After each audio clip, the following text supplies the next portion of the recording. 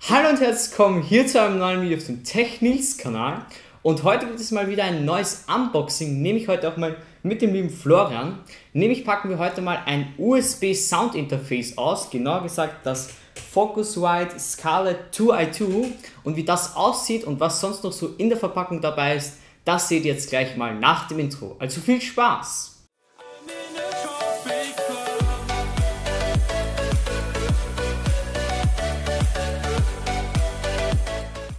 Ja, wir packen jetzt gleich mal dieses schöne Gerät aus, das mir auch jetzt der Flo freundlicherweise zur Verfügung gestellt hat, weil du selber hast es dir ja auch gekauft. Genau, Und durch einen Fehlkauf eben zweimal gekauft. Zweimal und jetzt, gekauft. Und jetzt konnte ich das auch bekommen. Ist, ist glaube ich, ein ziemlich cooles Ding und ich würde sagen, es Also er darf es nicht nur jetzt auspacken, sondern er darf es jetzt auch wirklich sein Leben lang behalten. das ist richtig coole Aktion auf jeden Fall. Oh, so. Dann schneiden wir das mal hier auf und dann schauen wir gleich mal, weil das ist ja, glaube ich, mal nur der Transportkarton, oder? Genau. Kommt das so mit dem Karton direkt von Amazon, oder? Ähm, War nein, dann- es war noch in den größeren, nur wusste ich nicht, ob dann halt noch das DBX drinnen wäre. Genau. Darum habe ich jetzt eben den originalen Amazon-Karton. Da ist gerade irgendwas runtergefallen. Nein, wieso geht das da nicht auf? Hm, bin ich unfähig? Warte, ich schneide das einfach mal hier durch. So, Aufklappen und drauf. so, jetzt aber. Handys auf lauter schalter. so, wurscht, jetzt haben wir es da. Da haben wir es, das Scarlett 2i2 Sound Interface mit zwei Eingängen. Es gibt das Ganze auch nochmal mit einem Eingang und das sind halt zwei Eingänge und jeweils halt so ein XLR und Klinkeneingang in einem. Sehen wir auch schon mit USB, Focusrite, Better, Faster, Easier. Sehr schön, das will man ja immer so haben. In Rot gehalten mit Kopfhöreranschluss und auf der Rückseite, ja, kann man, sieht man nochmal, wie man alles ansteckt. Interessiert uns jetzt nicht. Ich glaube, ah, das kann man gleich so aufspalten. Und tada!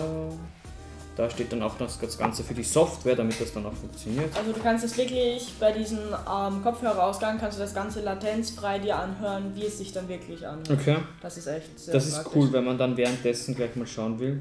So, ein kleiner Infozettel haben wir dabei, dabei und das sehe ich jetzt schon. Oh, das Rot schaut sehr cool aus. Ne, das, ich, das war auch so mein erster Eindruck. Rot, cool. Sieht cool aus. Legen wir es auch mal hier kurz zur Seite, weil wir haben hier noch ein Kabel dabei, glaube ich. Das schauen wir uns jetzt auch gleich mal an. Das legen wir jetzt mal hier nach vorne. So. Das ist, wird ein normales USB-Kabel sein, in Rot gehalten. Natürlich passt das schön dazu. Ganz normaler USB Typ A Stecker, ganz normales USB Typ 2 Kabel. Focusrite steht da noch drauf. Jetzt nicht besonders lang, aber ich glaube, das sollte reichen eigentlich. Ziemlich cool, normales USB-Kabel. Und ja, dann kommen wir auch gleich direkt zu dem Gerät selber. Darüber machen wir jetzt gleich mal hier die Dixo-Streifen auf. Also, Dick so professionell verpackt. ja, es ist schon gut. Also es ist ziemlich, schon ziemlich schwer eigentlich, das fühlt man irgendwie gleich, dass das jetzt hier was hochwertig ist, weil euch macht eh einiges da. Nicht nur Interfaces. Nicht nur Interfaces. Wow. Okay, da haben wir das schöne Ding. Mit schönem Fuß. Cool. Okay. Schauen wir mal das ganze Gerät mal um. Wir haben da einmal, wie schon gesagt, die zwei Eingänge. XLR und Klinke kann man da beides anstecken. Einmal den Gain, um halt da gleich direkt die Lautstärke zu regeln. Ähm, den Umschalter von Line und Instant, glaube ich, oder? Irgendwie sowas ist das. Die Phantomspannung, wenn man sein Mikro wirklich, was halt Phantomspannung braucht, direkt anstecken will. Dann der Hauptregler für die Kopfhörer, oder? Nein, das ist der Regler, das ist der Regler für die Genau. Kopfhörer. Und das ist der Monitorregler, genau. Für die Lautstärke. Das ist mal die Vorderseite. Oben haben wir nochmal das Logo. Und auf der Rückseite haben wir dann halt einmal den USB-Anschluss, um mal das Ganze mit dem Computer zu verbinden. Und nochmal zwei weitere Ausgänge, wenn man halt irgendwo anders noch weitergehen will mit dem Signal in irgendwelche Boxen oder so, kann man da auf jeden Fall nochmal das anstecken. Was ich ziemlich cool finde, ist, dass man keinen extra Strom braucht. Genau. Weil eigentlich bei Phantomspannung, wenn man das will, eigentlich bräuchte man immer extra Strom. Anscheinend da nicht. Also das ist schon mal Genau, alles über USB. alles über USB. Das ist, hilft auf jeden Fall weiter, wenn man nicht noch irgend so ein Netzteil um und um schleppen muss. Ja, schaut auf jeden Fall ziemlich cool aus, macht einen guten Eindruck.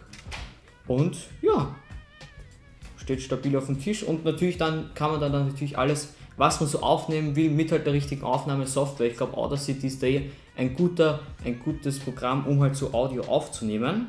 Und ja, wir werden das Ganze dann auch mal hinten bei mir beim Computer anstecken. Aber ich würde jetzt einfach mal sagen, was ist jetzt hier mit diesem neuen Video? Ich würde mich natürlich sehr bei diesem Video über einen Like freuen oder wenn ihr mich abonnieren würdet, dann blende ich euch den Abo-Kreis ein.